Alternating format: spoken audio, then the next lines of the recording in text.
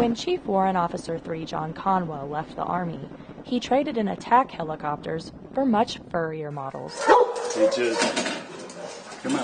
After he retired in 2010, Conwell started No Kill El Paso, an advocacy group of local rescues working to establish a citywide no kill policy for animals.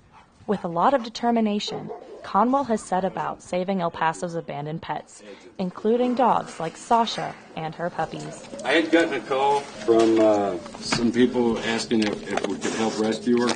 They knew that she had puppies, but they couldn't see the puppies.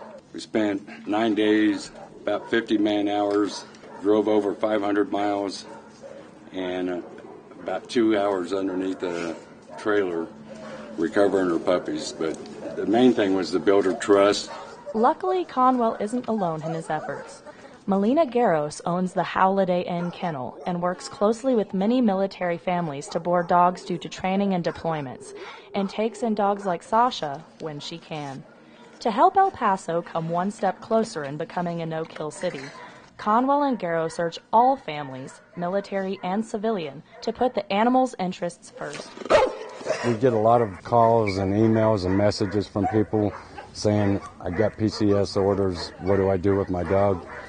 Get a dog that you can take with you, or if you don't want to do that, then contact one of the rescues and ask them if they can foster the dog until it can be adopted. They say they still have a long way to go in making El Paso a no kill city, but it's worth the fight. Come on.